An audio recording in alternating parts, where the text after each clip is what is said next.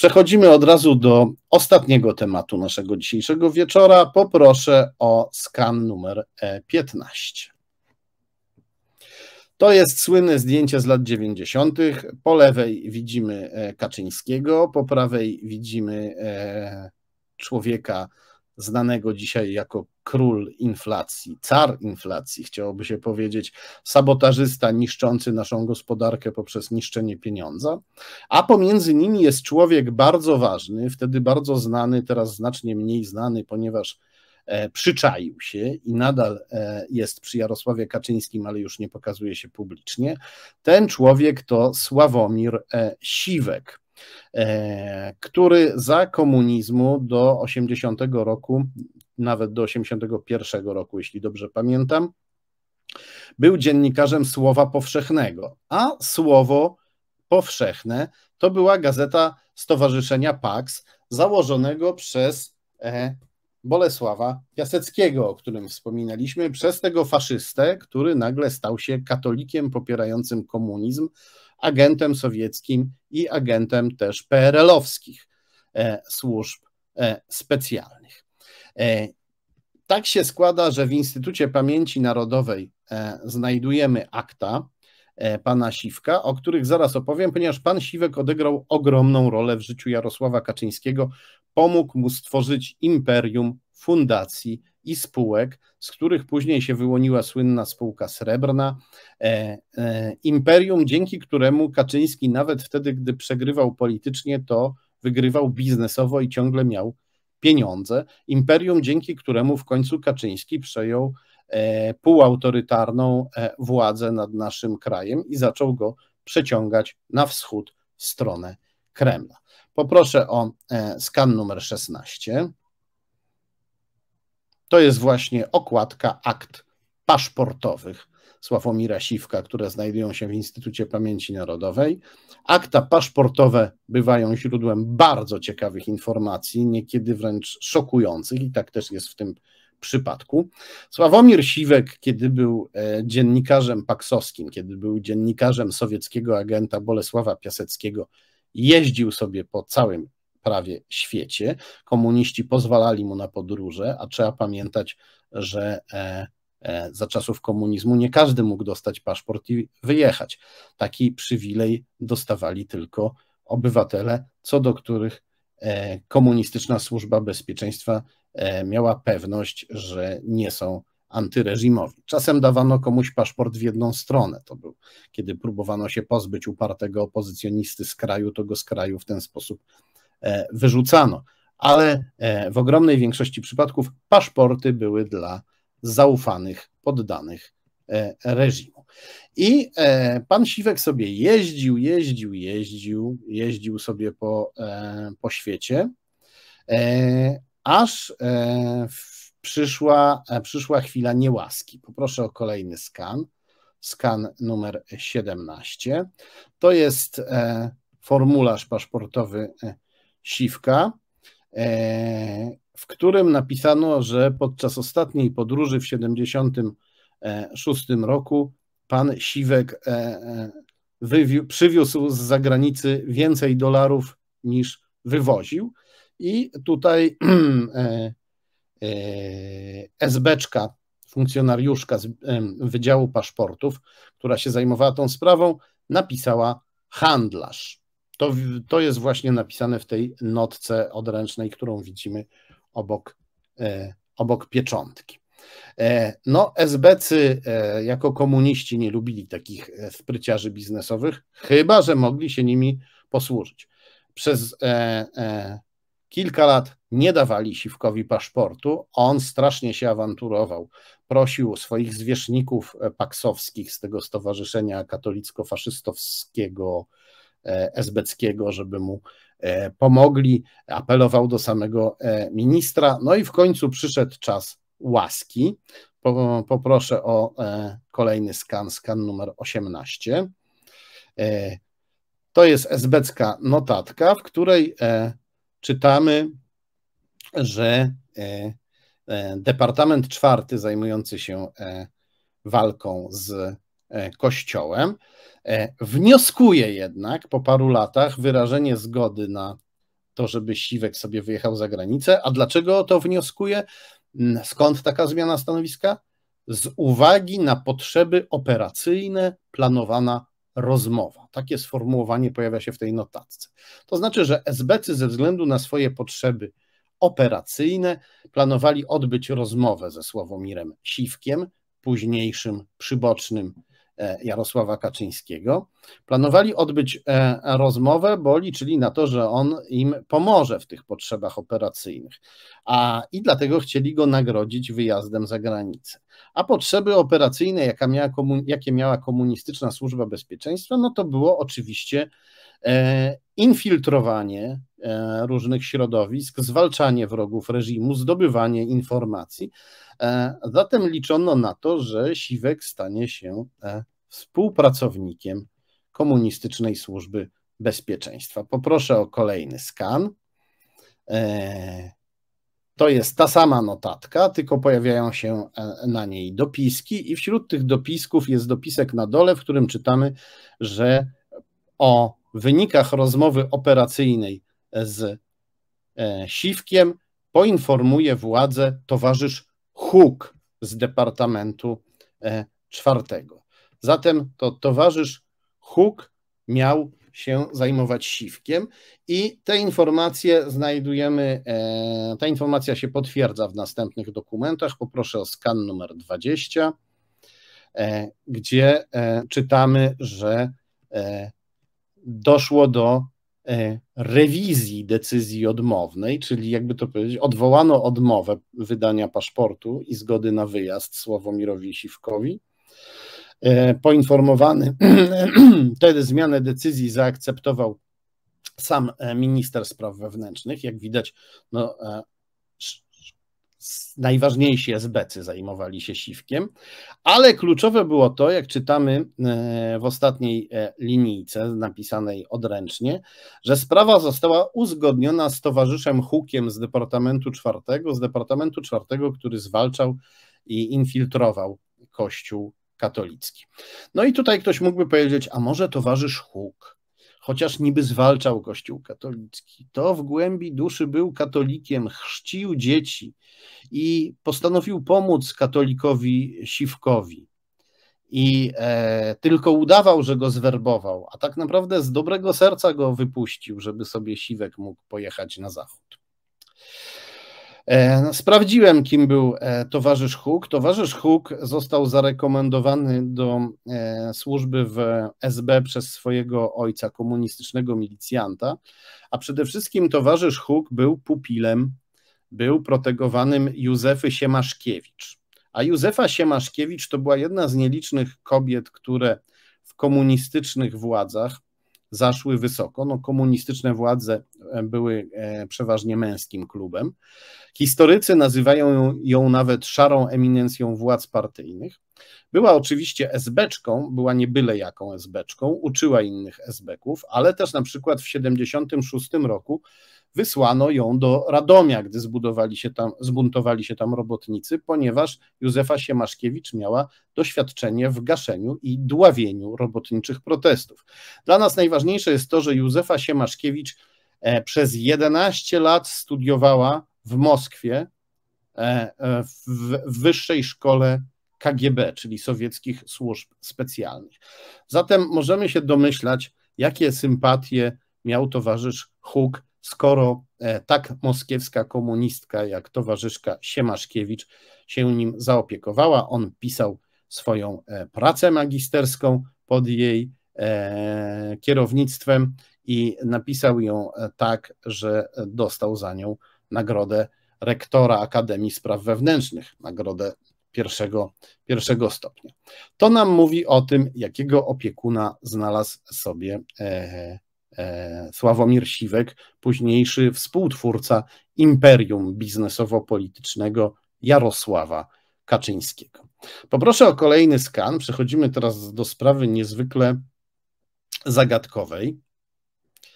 E, poproszę o skan numer 21. Może się uda. Udało się. Proszę Państwa, to jest bardzo niezwykłe pismo. To jest pismo z roku 85. Autorem tego pisma jest ksiądz Alojzy Orszulik, który później został biskupem. I on w imieniu sekretariatu Episkopatu Polski pisze do e, generała Czesława Kiszczaka, ministra spraw wewnętrznych, człowieka wówczas wszechwładnego, e, który był prawą ręką generała Jaruzelskiego, najwyższego władcy PRL. E, I tutaj ksiądz Orszulik prosi, żeby Siwkowi wydać paszport i pozwolić na wyjazd do Holandii jako reporterowi czasopisma Królowa Apostołów. E, I na tym piśmie znajdujemy bardzo dziwny dopisek, w którym e, ten dopisek e, jest skierowany do wiceministrów spraw wewnętrznych, do wiceministra Pożogi i do wiceministra Ciastonia, który był szefem służby bezpieczeństwa i który był też no, człowiekiem bardzo inteligentnym, ale bardzo niebezpiecznym, powiązanym też z zamordowaniem księdza Jerzego Popiełuszki. I w tym dopisku e, czytamy, e, co następuje. Arcybiskup Dąbrowski zaklina się, że Siwek niczego złego nie powiedział, że dostarczy dowody i e, prosi o wydanie mu e, paszportu, bo inaczej fundację się zawali i oczywiście rząd PRL będzie winien, że nie, dostali, e, że nie dostaliśmy 5 miliardów marek niemieckich. No to brzmi tak, jakby Siwek pod skrzydłami komunistów załatwiał gigantyczne sumy, 5 miliardów marek to była wtedy gigantyczna suma, jakby załatwiał gigantyczne sumy dla Kościoła katolickiego w Polsce za zgodą samego Czesława Kiszczaka. Jednak pokazałem ten dopisek e, rodzinie Kiszczaka i oni powiedzieli, że to nie jest jego charakter pisma to jest bardzo e, dziwne. Któż by sobie pozwolił na dopisek w takim tonie na, na dokumencie zaadresowanym do Czesława Kiszczaka i kto by tak familiarnie nazywał e, bardzo ważnych i niebezpiecznych towarzyszy, jak towarzysz Pożoga i towarzysz Ciastoń. Przeważnie jak pisali do nich inni, to pisali towarzysz generał, używali tytułów no brzmi to tak, jakby to napisał Kiszczak, ale to nie jest charakter pisma Kiszczaka.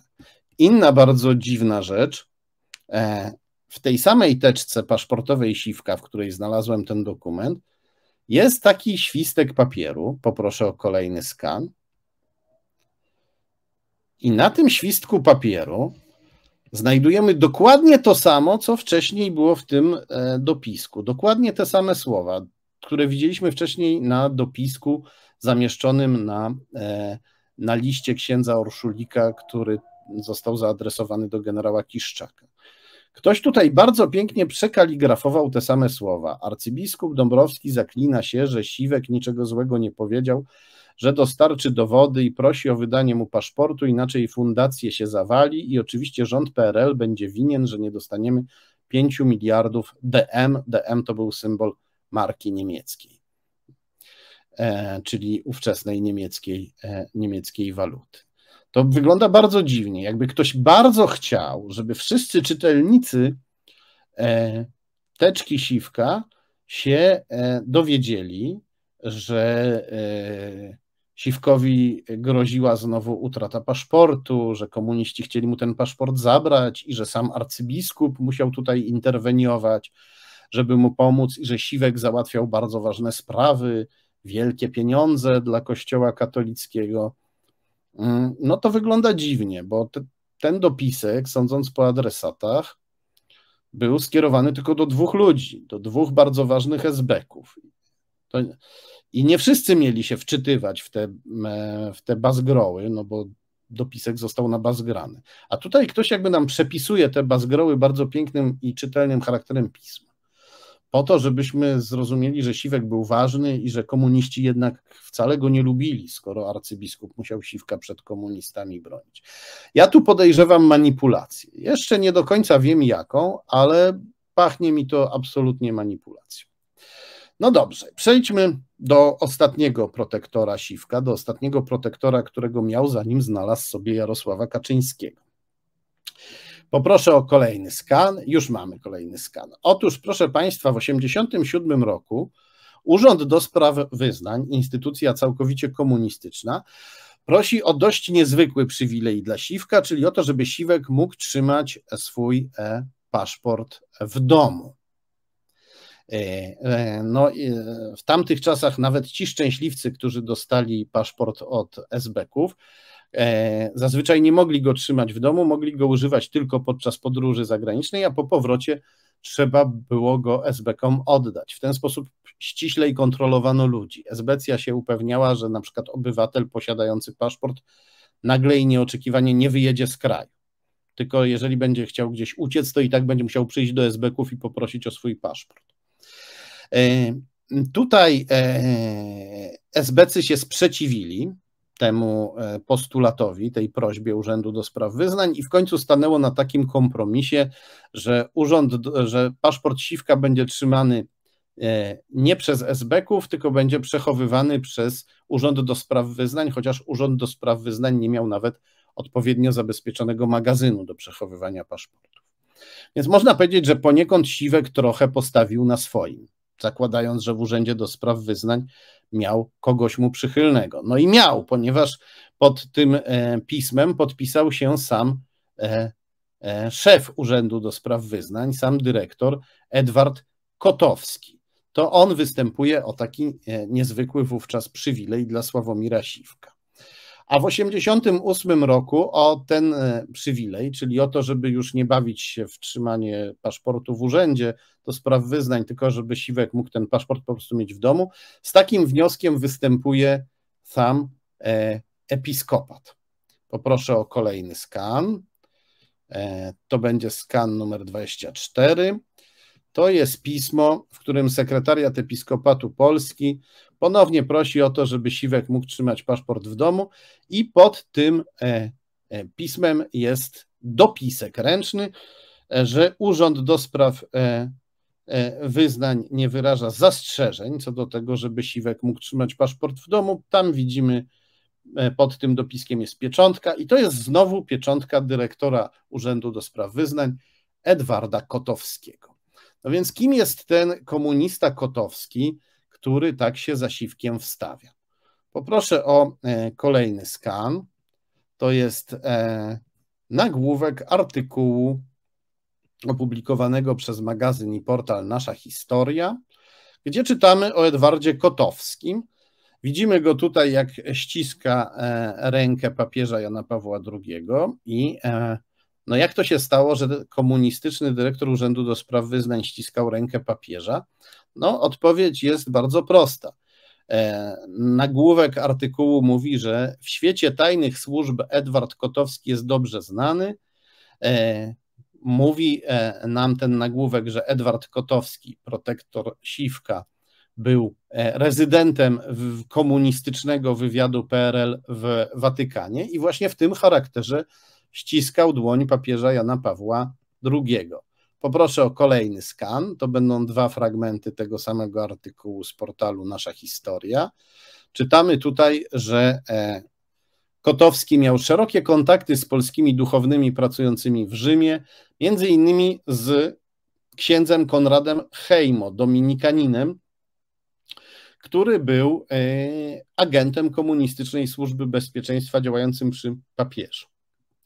I czytamy też, że ci watykańscy rozmówcy Kotowskiego nie wiedzieli, że on jest kadrowym oficerem polskiego wywiadu, bo on tam występował pod tak zwaną przykrywką dyplomatyczną jako e, sekretarz e, ambasady polskiej. I e, jako dyplomata spotykał się z papieżem i z innymi, i z innymi duchownymi watykańskimi, a tak naprawdę szpiegował ich i na nich donosił i prawdopodobnie też przy pomocy różnych intryg próbował ich e, omotać.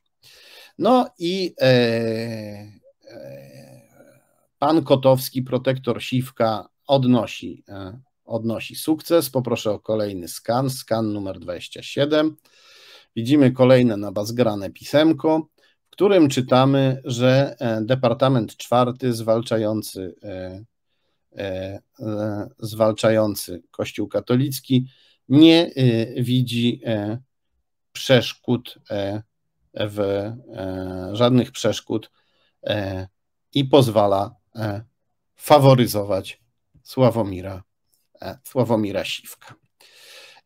Sławomir Siwek na początku lat 90., tak jak mówiliśmy, występował z Jarosławem Kaczyńskim E, stał się e, tym człowiekiem, który wprowadził Kaczyńskiego na salony biskupów i Kościół katolicki zaczął Kaczyńskiego w ten sposób popierać.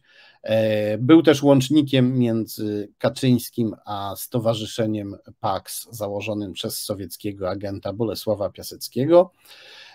Potem Siwek przycichł, między nim a Kaczyńskim były spory. E, ale w końcu się panowie jakoś ugodzili. E, no, jak wiadomo, gdzie są pieniądze, tam są spory, ale w końcu panowie jakoś doszli do porozumienia. W 2006 Kaczyński zrobił Siwka swoim e, człowiekiem w zarządzie telewizji publicznej. Obecnie Siwek zasiada w Radzie Fundacji Solidarna Wieś. Poproszę o kolejny skan, skan numer 28. Tutaj widzimy, że e, Siwek jest w Radzie Fundacji Solidarna Wieś, a razem z nim w tej Radzie zasiada Katarzyna e, Maria Pasoń. Poproszę o kolejny skan z serwisu rejestr IO opartego na Krajowym Rejestrze Sądowym. Widzimy tutaj, że Katarzyna Maria e, Pasoń Zasiada nie tylko w Radzie Fundacji Solidarna Wieś, zasiadała też w spółce, w Radzie Nadzorczej spółki Interpoligrafia, związanej z imperium biznesowym Jarosława Kaczyńskiego. W tej spółce był też Sławomir Siwek. Widzimy, że Katarzyna Maria Pasoń zaczęła karierę jako członek zarządu spółki Biuro Miss Polonia. Ale przede wszystkim czytamy, że Katarzyna Maria Pasoń urodziła się 2 lipca 1968 roku. Kim jest Katarzyna Maria Pasoń? Otóż ona jest siostrzenicą Sławomira, e, e, Sławomira Siwka. W księgach wieczystych, poproszę o kolejny skan, skan numer 30, w księdze wieczystej lokalu, który odziedziczyła po rodzicach, występuje jako Katarzyna Maria Frelek, zapewne po mężu, e, ale jako córka Barbary Pasoń i e, Jana Pasonia, urodzona 2 lipca 1968 e, roku. I pod nazwiskiem Katarzyny Marii Frelek, pod nazwiskiem Katarzyny Frelek występuje też na stronie Fundacji Solidarna Wieś, tej fundacji, w której jest razem z Siwkiem. Poproszę o kolejny skan. To jest e, fragment e, strony e, internetowej Fundacji Solidarna Wieś. Czytamy tutaj, że Katarzyna Frelek, urodzona 2 lipca 1968 roku w Warszawie, podane są także znowu imiona rodziców, rodzice Jan i Barbara. I czytamy, że w 1987 roku Ukończyła liceum ogólnokształcące przy ambasadzie Rzeczypospolitej Polskiej w Moskwie, przy ambasadzie RP w Moskwie. No i to jest e, oczywiste zafałszowanie rzeczywistości, zafałszowanie, zafałszowanie przeszłości. W 1987 roku nie było ambasady RP w Moskwie, była ambasada PRL, Komunistycznej Polskiej Rzeczypospolitej Ludowej. To brzmi zupełnie inaczej, kiedy mówimy, że ktoś skończył ambasadę RP w Moskwie, bo to brzmi, myślimy tutaj od razu rodzice, pewnie polscy dyplomaci we wrogim rosyjskim otoczeniu. Natomiast kiedy ktoś skończył liceum, liceum ogólnokształcące przy ambasadzie PRL w Moskwie, to skojarzenia są oczywiście inne, ponieważ w ambasadzie PRL e, działali e, komunistyczni e, sojusznicy Moskwy i e, osoby, które wtedy wyjeżdżały do Moskwy, miały dzieci, Polki, Polacy, którzy wyjeżdżali do Moskwy i miały dzieci uczące się w liceum przy tej ambasadzie, no to też były osoby e, popierające związki, e, związki z Kremlem. I jak to się stało, że siostrzenica Sławomira Siwka skończyła liceum w, Moskwie, liceum przy ambasadzie PRL w Moskwie. No i odpowiedź na to pytanie znajdujemy też w teczce paszportowej Sławomira Siwka. Poproszę o e, kolejny skan. E, to jest skan z formularza, którym Siwek wystąpił o paszport i musiał podać też swoją, wymienić członków swojej rodziny, swoje rodzeństwo. I czytamy tutaj, że Barbara Pasoń, jego siostra, urodzona w 1939 roku, mieszka razem z mężem w Moskwie na placówce handlowej Centrali Handlu Zagranicznego Ciech. Centrala importowała chemikalia, a jej oddział w Moskwie był odpowiedzialny za import paliw.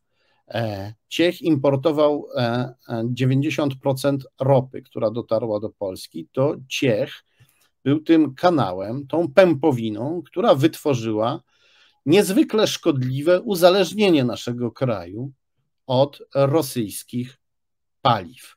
To uzależnienie, z którym się borykamy, to uzależnienie, które przyczynia się do tego, że będziemy za chwilę płacić sześć razy wyższe rachunki za, e, za paliwa, za gaz. Sześć, przyczynia się do tego, że nasze czynsze rosną e, jak kominy, że nasze czynsze rosną, nasze rachunki rosną, a zarabia na tym zbrodniczy dyktator Putin. Putin, który właśnie próbuje zamordować e, Ukrainę. I e, tak się składa, że wiele spośród wyjazdów zagranicznych Sławomira Siwka za czasów PRL-u to były wyjazdy do Związku Sowieckiego, gdzie odwiedzał e, siostrę, członkinię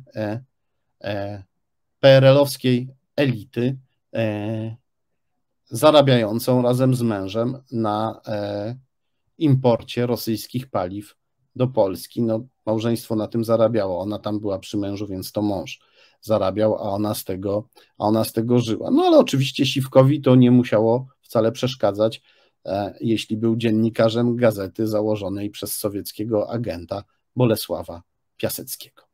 No, to taka kolejna opowieść o powiązaniach Jarosława Kaczyńskiego, o człowieku, który był dla niego bardzo ważny i który w jakiś sposób nadal jest, e, jest ważny, chociaż niektórzy mówią, że Siwek wypadł z łask Kaczyńskiego, że Kaczyński go nie lubi, ale jednak Siwek nadal Kaczyńskiego wspiera, a Kaczyński po cichu jakoś trzyma go przy sobie. Być może Siwek bardzo dużo wie, być może e, nadal jest też bardzo przydatny. To jest reset obywatelski.